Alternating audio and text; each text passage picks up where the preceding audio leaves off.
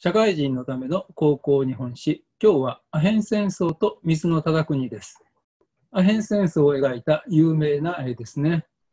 中国のジャンク船。イギリスの軍艦です。イギリスの軍艦は砲と蒸気機関を併用する船で、戦いの時は主に蒸気機関で動きます。でスクリューではなくて外輪船です。でこの戦いで中国はイギリスに敗れるんですが、その大きな原因は船の性能と大砲の性能の差でした。大砲は19世紀になってからヨーロッパで急激に技術が発達しました。一つは大砲の弾の中に策薬を入れて撃つ。そうすると砲弾が当たるとボーンと爆発するんですね。もう一つは大砲の射程が大変長くなった。大砲の弾を遠くに飛ばすためには初速を速くすればいいんですが、そのためには丈夫な砲身を作る必要があるんです。この頃ヨーロッパで製鉄技術が発達して優秀な鋼鉄を作れるようになってで頑丈な大砲を作ることができるようになったので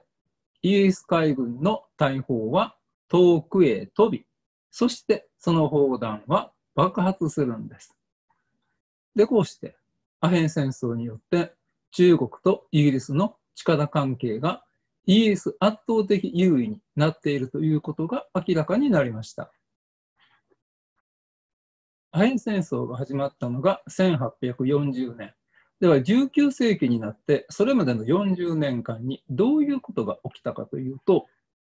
ヨーロッパでは産業革命が1830年代に完了しました。産業革命というとその中核的な技術は蒸気機関です。で蒸気機関最初は紡績工場の機械を動かすのに使われてたんですがそれを交通機関に応用しようということが行われてフルトンが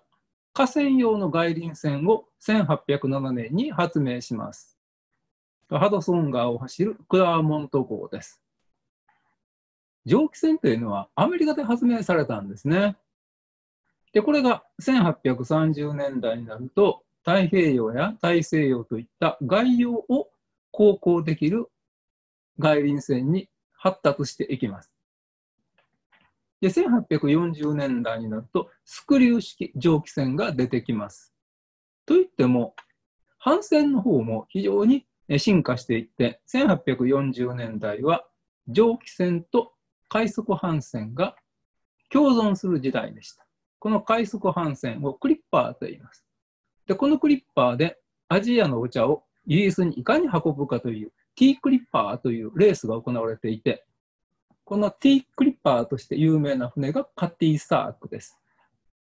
一方、蒸気機関を陸上で使おうという試みも行われて、鉄道が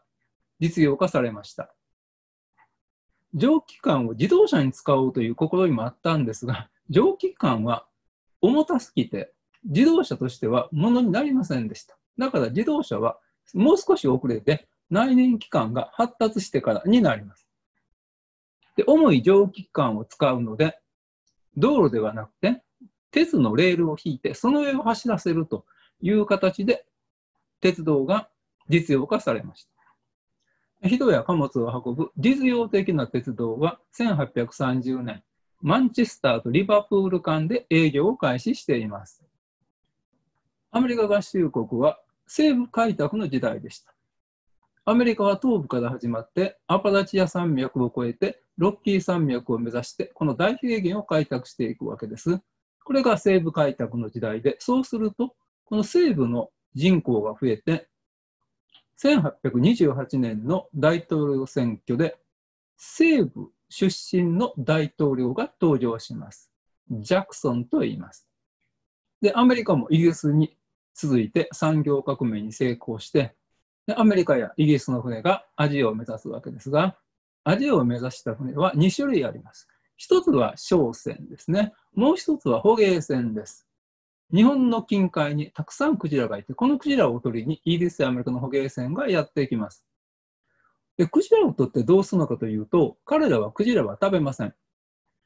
彼らが必要としていたのは、クジラの油なんですね。彼らはクジラの油だけ絞ると、あとは捨ててしまいます。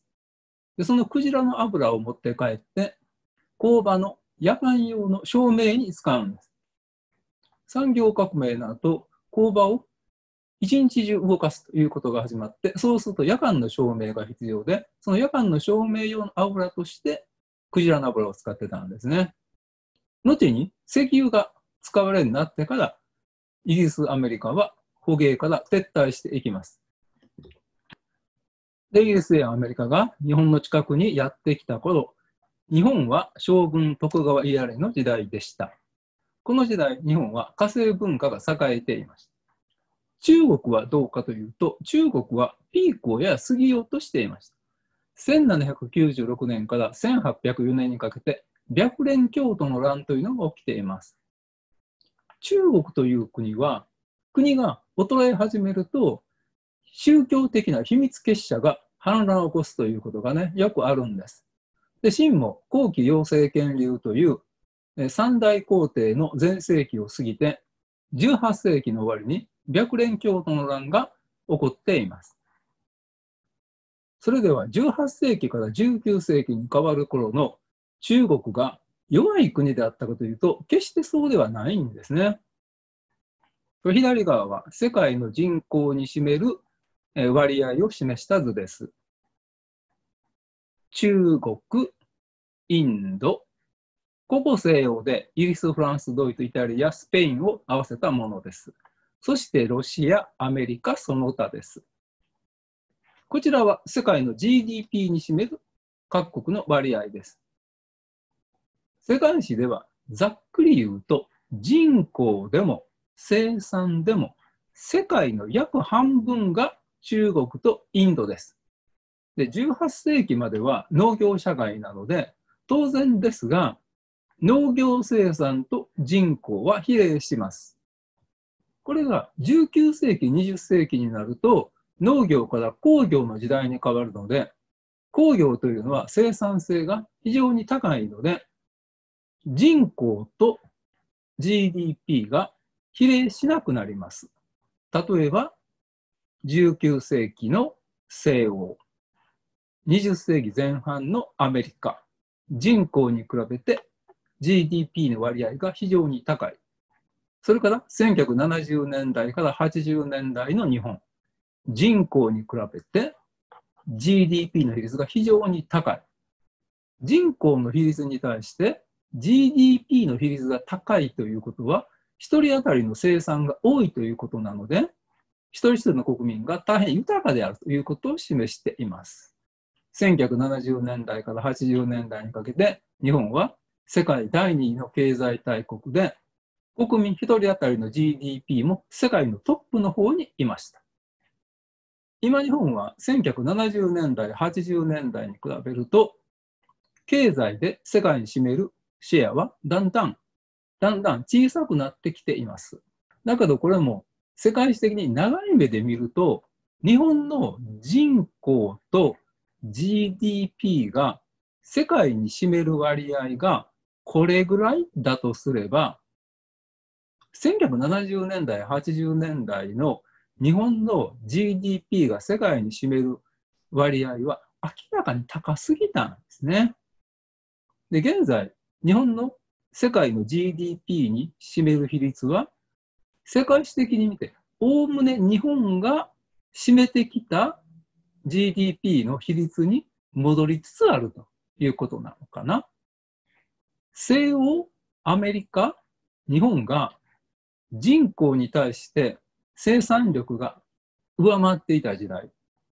じゃあどこの国が人口に比べて生産力が下回る状態に置かれていたかというと、中国とインドです。中国とインドは19世紀一貫して巨大な人口に比べて生産力が低いという状態に陥って、で、20世紀の中頃に底を打って、そこから生産力を復帰させつつあるんですね。で、現在、中国は世界でアメリカとともに二大経済大国になってますが、まもなくインドがそれに並ぶようになってくるでしょう。で、それは何ら不思議なことではなくて、マクロな視点から世界史を見れば、おおむね世界の人口の半分は中国とインドであって、生産のおおむね半分も中国とインドだったんです。それが19世紀の後半から20世紀の前半というのは、世界のナンバーワン、ナンバーツーを示してきた中国とインドが一時的に停滞していた。世界史に珍しい時期で、中国とインドが世界の半分ぐらいを占めるという状態で世界史的には、まあ、普通に戻るということになるんでしょうね。で世界史を教えていて西欧アメリカ日本が19世紀の後半から20世紀にかけて大きく成長していくのはこれは産業革命の成果を早く取り入れたからだということなんですが逆に説明しにくいのは、中国とインドがなぜ急激に衰えていったのかと。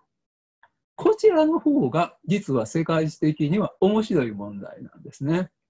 中国の人口及び経済力の世界に占めるシェアが最大に達するのは、このグラフで言うと人口も経済力も1820年なんです。さっきその前の時点で、白蓮教徒の乱が起きたと言ったように、1820年代というと、中国若干衰えかけてるんですね。だから、この1700年から1820年のこのどこかの時点で中国の国力はピークに達したんです。で、それがどうして？急速に衰えてアヘン戦争に敗北して、その後戦いに敗れ続けて反植民地化していくのか、勝った原因って割と分かりやすいんですけど、負けていく原因っていうのはね、なかなか分かりにくいんです。日本もそうですよね。日本のね、高度経済成長期、なぜ日本が発展したか。これはね、すぐに説明できるんですけど、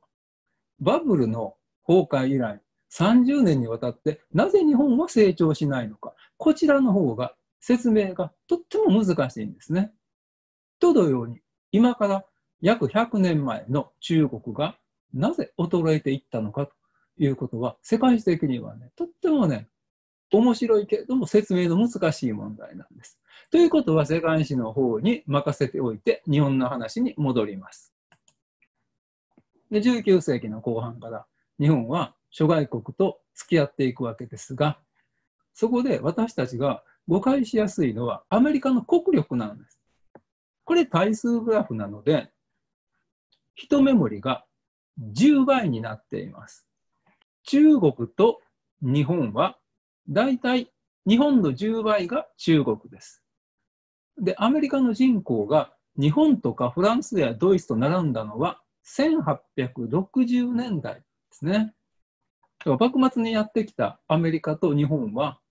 人口で言えば同じぐらいの大きさの国だったということを知っておく必要があります。それでは江戸幕府の話に戻ります。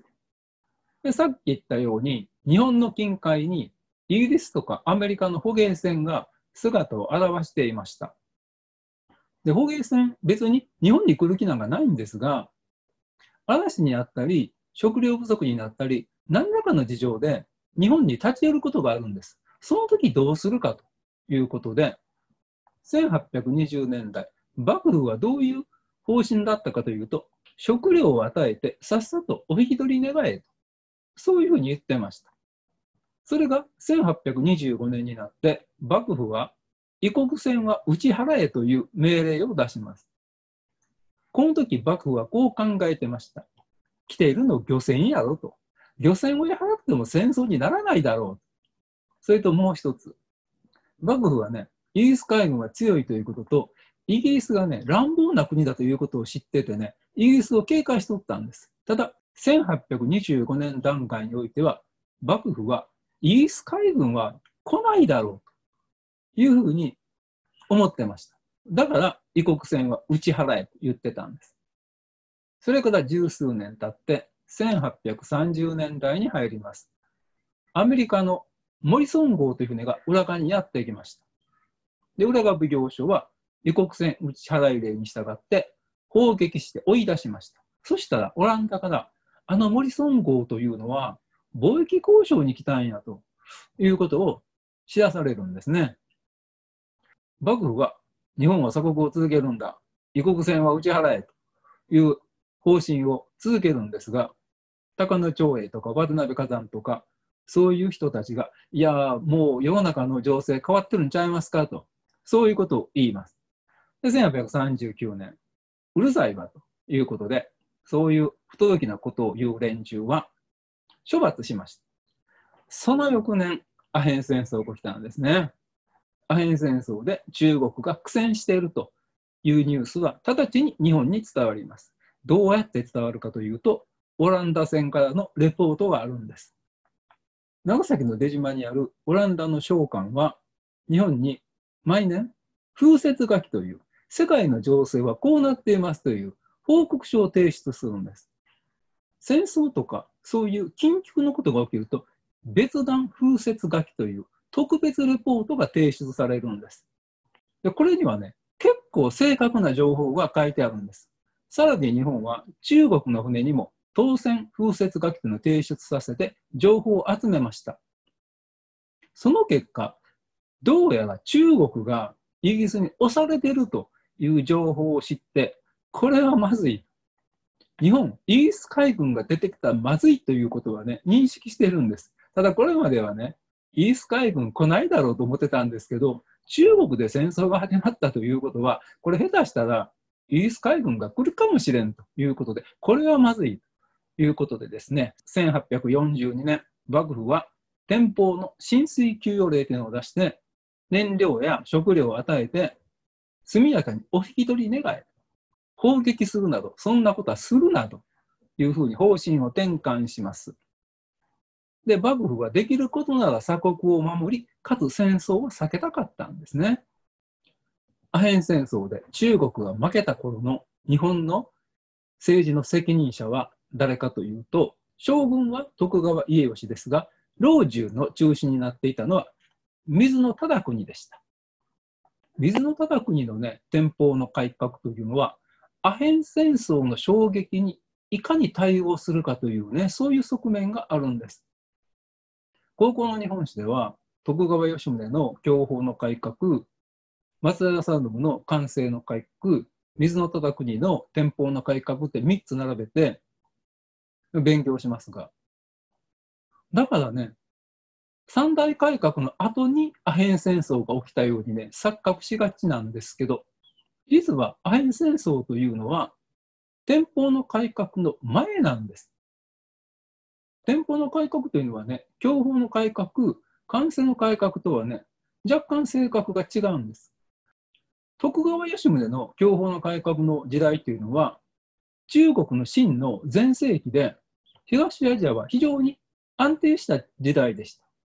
だから徳川吉宗は国内のことだけ考えておったらよかったんです。で、松平定信になると、北の方からロシアがやってきて、ラックスマンが来たりなんかしたので、津軽海峡で防衛しようかなとか、まあ、その程度のことは考えたんですけど、あんまり深刻さはなかった。ところが、水の忠国の店舗の開館の時は、お隣の中国がイギリスに負けちゃったわけだから、これはえらいことになってるわけで、店舗の改革ではね、内政問題とともに国際情勢にいかに対応するかということがね、大きな問題になっているんです。水野忠国とはどういう人かというと、九州肥前の国、唐津藩主でした。で、唐津藩というのは、表高6万石なんですけど、実質25万石という非常に裕福な藩でした。どうしてそんなに優遇されてるかというと、唐津藩は長崎の警備が任務だったんです。長崎の警備にはそれなりの費用がかかるから、その費用を保証してやろうということで、25万石といういい領地をもらってるんですね。ただ、長崎警部という仕事があるので、幕府の中央部では、例えば若年寄りになったり、あるいは老中になったりと、そういう形の昇進はしない藩だったんです。ところがね、水の忠国は老中になりたかったんですよね。そこで、水の忠国は考えます。唐津藩なんかにおったらあかんわ。どっか変えてもらおうと。どこがいいかな。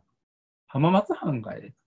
浜松というのは徳川家康が若い頃に本拠地にしていたお城なので、昇進コースに入ってたんです。ただ、浜松は実質15万石です。唐津は25万石あるので、唐津から浜松に変わると、25万石が15万石に減ってしまうんです。だけど、水の忠国は、唐津から浜松への転勤希望を出しました。藩士たちはね、びっくりしてね、何をするんですかと。25万石から15万石になってしまうと、これ収入4割ダウンですからね。どうやってね、藩士たちはね、生活していくんですかということで、藩士たちが必死の反対運動をして、水野家の家老、日本松義門さんは、殿を諌めて切腹しています。だけど、水野忠国は、いや、わしはやめんと言ってですね、幕府に転勤願いを出すんです。幕府喜んでね、え、25万石を返して15万石に変えてくれて言ってるの？を変えたろということで、水野忠国は唐津から浜松へ移動します。で、浜松藩主になってから昇進コースに乗ります。自社奉行、大阪城代、京都諸子代を経て、西の丸道中。これは次期将軍の補佐役です。絵に描いたような昇進コースを歩んでいきます。そして1834年、本丸老中になって、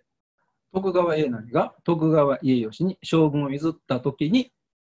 老中の手段になって、そして徳川家成が亡くなって、水野忠国が政権を主導して天保の改革が始まりました。水野忠国のブレーンですが、保守派と改革派が混じっています。で改革派の中に高島秋藩と江川英龍がいます。高島秋藩は長崎でオランダ人から法術を学びました。で、アヘン戦争を分析して、中国がイギリスに負けたのは大砲の性能に差があったからや。あ、こ正しい分析ですね。それで、これからは大砲のね、時代ですよ、というので、1841年、高島秋藩は砲術の公開演習を行いました。でこれを幕府の偉いさんに見せて、これからは大砲の時代ですよと売り込みました。江川英流というのは、伊豆韮山の大官でした。で森孫号がやってきたというので、解剖に関心を持って、長崎に行って、高島秋藩に砲術を教えてもらいました。でこの後、江川英流は水野忠国や安倍正弘に徴用されて、1853年、ペリーが来た後、幕府の命令で品川砲台、いわゆるお台場というのを作ったり、大砲を作るためにはいい鉄がないとダメだということで、韮山に反射炉を作ったりしています。幕府はオランダ経由で情報を取ってたんですが、1842年6月、オランダの召喚長からえらいニュースが幕府にもたらされました。アヘン戦争が終わったら、イギリスの軍艦が日本にやってきますよ。日本はイギリスの海軍をとっても警戒していました。で、直ちに1842年7月、異国船打ち払い令を撤回して、天保の浸水給与令を出します。イギリスの軍艦とくれぐれも戦ったりなんかしないようにとで、1842年8月、南京条約が結ばれて、中国が香港をイギリスに割譲しました。こういう国際情勢を見て、日本も大型の軍艦を作らなあかんとちゃいますかと、そういう意見が提唱されます。一人は佐久間昌山、もう一人は徳川成明。とにかくこれからは、軍艦と大砲を作らんことにはどうにもなりませんよと。いう意見ですね。江戸幕府は軍事技術の一部を戦国時代のレベルよりもわざと退化させてるところがあるんですね。日本の新選組とアメリカの西部劇を比べてみると、アメリカの西部劇は19世紀の前半、日本の新選組は19世紀の後半です。アメリカの西部劇では、カウボーイがコルトの6連発をバンバン撃ちまくってますね。世界はピストルの時代に入っているんです。なのに日本では幕末の京都で新選組の近藤勇や沖田総司と勤労の志士たちがちゃんちゃんバタバタをやってたんですね。坂本龍馬は剣術も強かったけど、ピストルもね、持ってて、主にピストルを愛用してたようですが、まあ、新選組はね、依然として刀を振り回してました。日本ね、戦国時代にね、世界最強の鉄砲隊持っていたのにね、あの技術はどうなってしまったんだと思いますよね。と同様に、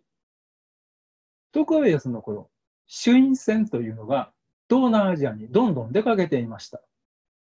ところが、江戸幕府は武家諸法度で500国以上の船は作ってはいけないということを言います。500国というと約50トンです。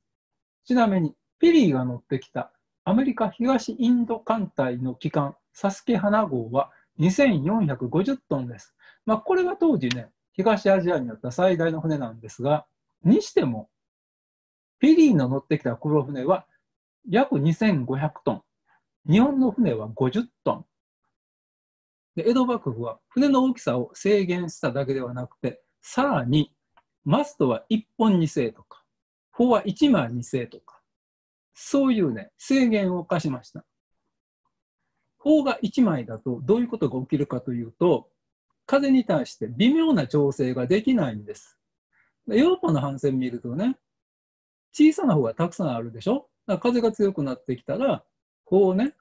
一部折りたたんで、風力を調整するんです。ところが日本の場合はね、砲1枚なのでね、細かい調整ができないんです。そんな船で外洋を渡ることはできないんです。外国に行けるような船は作らせないということで、鎖国をね、舞台化させたんですね。だけど、日本が行かなくても、イギリスとかアメリカとか外国の船が来るんだから、それに対して防衛するんだったら、イギリスやアメリカの船に対抗できる軍艦と大砲を作らなあかんのちゃうんかという意見が出てきつつありました。軍艦の性能において劣り、大砲の性能に劣る上に、さらに日本の防衛には致命的な弱点があったんです。それはね、江戸がね、海の近くにあること。中国の北京というのは内陸の方にあるので、アヘン戦争は関東から始まって、で天津港までイギリス軍がやってきたときに、ああ、もうあかんわって降伏したので、まあ、北京まではイギリス軍来なかったんですけど、日本の場合、江戸というのは海のそばにあるので、江戸をね、占領されちゃう可能性があるんですね。で、占領されないまでも、品川沖に外国船が現れて、大砲をボンと撃たれたら、江戸の町は火の海になるかもしれないですよね。江戸湾に入ってくるのをなんとか防いだとしても、江戸の町というのは消費都市で、上方からの物資輸送に頼っているんです。上方からの物資は船で運ばれてくる。日垣海線とか樽海線とか。これを浦賀水道あたりでイギリスの軍艦やアメリカの軍艦に止められてしまったら、江戸の町はそれで終わりなんです。この後、江戸幕府と諸外国の開国交渉を説明していきますが、江戸幕府は一貫して戦いを避ける。戦いを避けようとすれば開国するしかないという路線でいきます。江戸幕府というのはね、とってもリアルな政府で、精神論をね、振り回したりはあんまりしないんですよね。で外国との戦いはできるだけ避けるんですが、もしも戦いになってしまって、浦賀水道を封鎖されたら、物資をどうやって運び込むかということで、迂回ルートを考えました。ここにインバ沼という大きな沼がありました。今真ん中ね、ここ、干拓されてますけど、で田沼意次がこれ干拓しようとして失敗したところです。江戸幕府、ここの干拓工事を再開して、で、田んぼを増やすとともに、さらに、ここに運河を作って、もしも江戸湾を封鎖されたときに、東回り航路の船を利根川から印旛沼経由で運河を掘って、で、江戸湾に持っていこうと、そういうことをね、考えてたんです。で、さらに、江戸大阪の防衛を考えると、江戸大阪の周辺というのは、領地がね、入り組んでいて、これはやりにくいので、江戸城、大阪城の周りの土地を全て幕府領にして、その代わりに、そこを持っている大名や旗本の本領のあたりに開地を与えようと、そういうことを考えました。これ、上知令と言います。ところがね、これに対してね、すごい反対運動が起きるんですね。領地外なんかされたら困る。その費用はね、誰が負担するね幕府が見てくれるんかとかね。それからね、領民たちの中にはね、領主が変わったら、領主が発行した紙幣はどうなるんやと。江戸時代も終わり頃になると、大名や旗本が紙幣を発行しているんです。いわゆる反札ですね。領主が変わったら、今まで発行した反札はどないなるんやということでね、領民たちはとっても不安に思っててね、で大名から見ても、江戸や大阪の近くのね、いい場所をね、勝手に取り上げられては、たまったもんじゃない場合。そもそもね、領地を変えるときにはね、それなりのね、理由が必要なんです。あ徳川家康やね、徳川家光の頃のように、福島正則が広島城をちょっと修理したのが武家諸法異変か潰したのかとかね、まあ、そんなね、力はね、幕府にはないんです。もうこの頃は、大名や旗本を動かすことはできるんですけど、それなりの理由がないといけないんですよね。でも、水野大国は、大名や旗本を説得できなくて、この上知令に失敗したことが水野忠国の命取りになりました。で、この頃のね、領地外がどのようにして行われていたかというので、ちょうどね、水の忠国が絡んでいる例があるのでね、ここで紹介しておきます。水の忠国もともと唐津藩25万石を持っていたのを昇進したいので、浜松藩15万石に変えてくれと希望して、藩士たちを嘆かせたんですが、水の忠国が浜松に動くとして、浜松の方の大名を動かすことができるのかというとね、ちょうどね、この遠州浜松の井上正元という大名はね、スキャンダルを起こしとったんです。この井上正元、農家の嫁を押し倒したところを、夫に見つかってね、で、夫に殴られそうになって、逆にその夫に刀で切りかかって怪我をさせるというね、事件を起こしてるんです。まあ、男大名ということでね、有名になって、大スキャンダルでね、幕府の首脳部怒ってましてね、こんなんもう懲罰にどこか飛ばしたれということで、じゃあ、ちょうど水戸忠国が浜松に変わりたいと言ってるわと。じゃあ変えたろうと。で、井上正元を陸奥で飛ばして、で、陸奥の小笠原長政を唐津へ変えたろうと。これ唐津ね、何度も言いますけど、25万石でいいとこなんです。小笠原長政にしてみれば、ルンルンでね、ありがとうございますと。これでぐるっと回したんです。で、この井上家、浜松から陸奥に飛ばされとったんですけど、1836年、岩見の国浜田の松平康隆という人が大失敗をしました。島根県の日本海側というのは、今はね、そんなにね、経済的に繁栄しているところではないんですが、今の私たちから見ると意外な感じがしますけど、日本海側ってね、江戸時代はね、いいところだったみたいなんです。でこの岩見浜田というのはね、豊かな地域だったんですね。でこの岩見浜田の藩主が、竹島で密貿易をやってるというのがね、バレてね。で、どこへ飛ばすかというと、井上正元が飛ばされた陸奥、棚倉へ。岩見浜田といういいところが空いたので、上州館林の松平武康を岩見へ動かしました。松田竹敦はルンルンで岩見浜田へ変わっていきます。で、井上正治。これ、井上正元の子供ですけど、関東へ返してあげましょうかということで、陸奥から上州館林へ転勤しました。さて、陸奥から上州館林に移った井上家なんですが、1845年、もともといた遠州浜松に戻ることができたんです。浜松は水の忠国がいたんですが、水の忠国が失脚して、家族継承が行われた後で、水野家は浜松から動かそうということになって、水野家は浜松からでは山形へ移動させられます。で山形にいた秋元家を館林に動かして、館林にいた井上正治を浜松に動かそうと。で、こうして井上家というのはもともと浜松にいたのが、陸奥に行って館林に行って浜松に戻ることができたんです。で、こういうふうに江戸時代も後半になると、大名を動かすにはそれなりの理由が必要になってたんですね。で、さらに1842年には一旦移動が決まったのが大名たちの反対で中止になったという例があります。将軍徳川家成には子供がたくさんいました。で、その子供をね、どうするかということで幕府は頭が痛かった。どこかの藩で養子に迎えてくれへんかな。そうすると、武蔵川越藩が、じゃあ、うちで一人引き受けましょうかということになりました。で将軍の子供を引き受けてくれるんだから、いいとこに変えてあげないといけないよね、ということで、武蔵川越、実高14万石から出羽省内、実高21万石に移動させましょうということになって、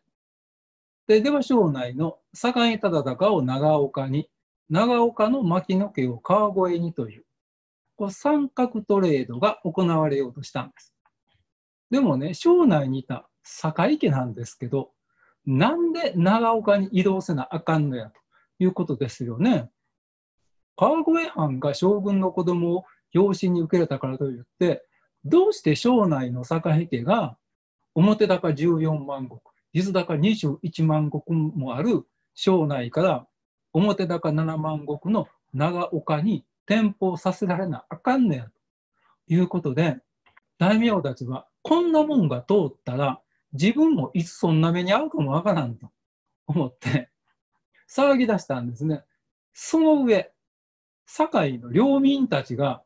我々も反対やと、殿様あまりにもかわいそうやということで、天保義民事件というのが起きています。で庄内藩というのは、表高14万石、実高21万石の非常に裕福な藩だったんですね。で裕福な藩だということは、多分政治もそれほど無理をしてなかったんでしょう。だから庄内藩の領民たちは藩の政治に対して信頼度が高かった。ところが、その堺家の殿様がこの長岡に転封させられてしまう。それはあまりにかわいそうやということのほかに、実利として次来る人どんな人が来んねんということもあるし、それから庄内藩では米をね、蓄えてたり、あるいはね、米を領民たちから借りてたりしてたんです。それはどうなるんやということで、領民たちが騒ぎ始めて、そして領民たちはこう言いました。百姓といえども二君に使えず、1841年1月、11人の領民代表が江戸にやってきて、幕府の偉いさんに加護葬をしました。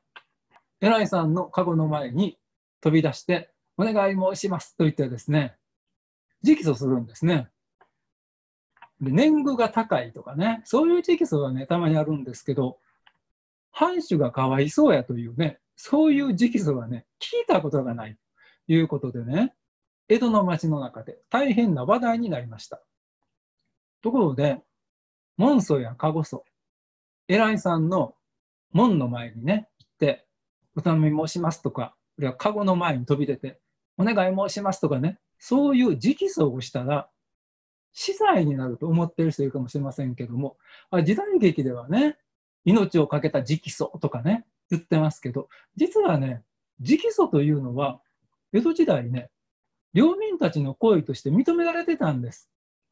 直訴したら死罪だというのはね、後世の誤解でね、時代劇というのは誤解の上に成り立ってるんですよね。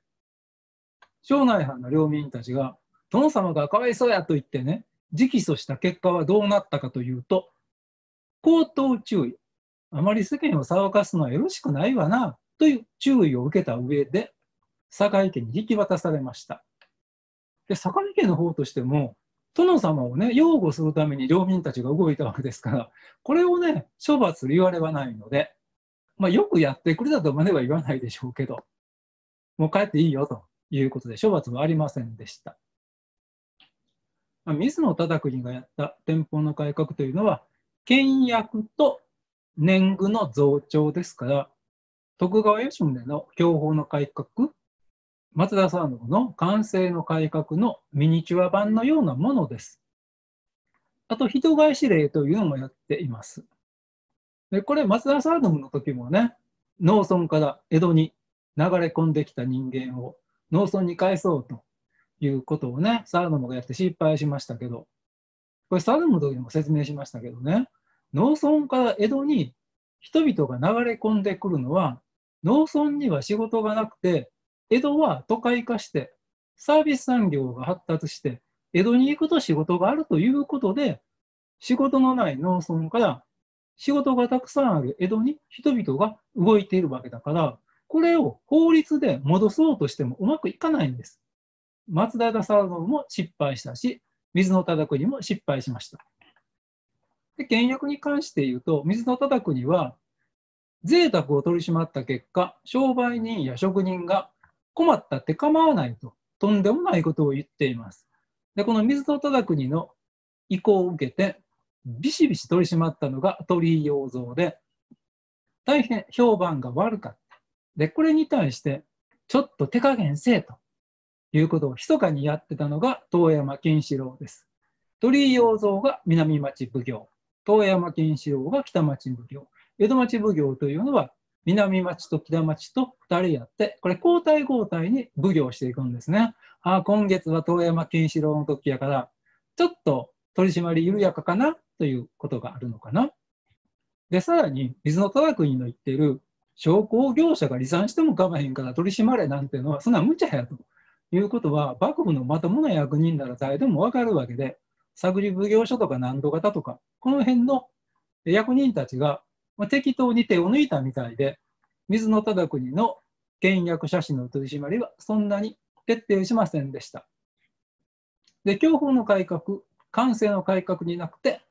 天保の改革にあるのは上知令ですね。でもこれは大名旗本が反対して、最終的にはこの上知令で大名や旗本に愛想をつかされたのが水野忠国の命取りになって、1843年、水野忠国は老中を罷免されてしまいます。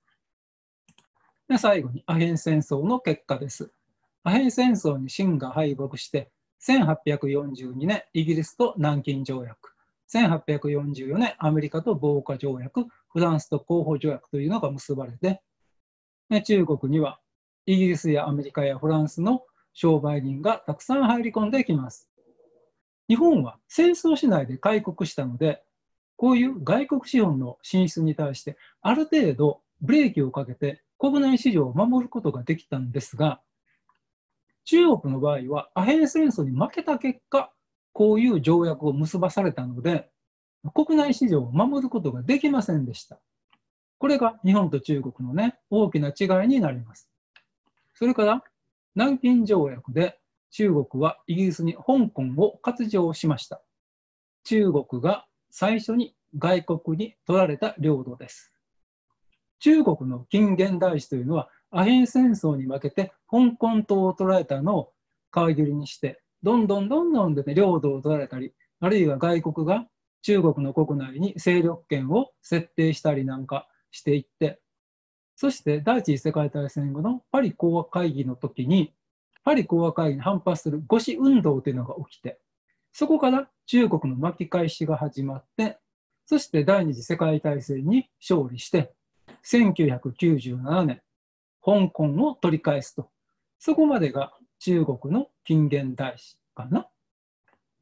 で、日本に戻って、1844年、オランダ国王が外国が日本との通商を希望してますよ。うまく立ち回らないと、中国みたいにとんでもないことになりますよと忠告してくれたんですが、1845年、幕府はオランダ国王に対して鎖国政策は変えないのだという返書を出しています。だけど、イギリスの測量艦やアメリカの軍艦が日本の近海に姿を現すようになります。そういう中で水野忠国は一旦老中に復帰するんですが、やっぱり水野忠国の批判が多くって、1年で水野忠国は謹慎隠居してしまいます。そして安倍正弘という人が老中出題になります。そしてこの安倍正弘が老中をやっている時にペリーがやってきて日本は開国しやがてハリスがやってきて通商条約を結べということになっていきます。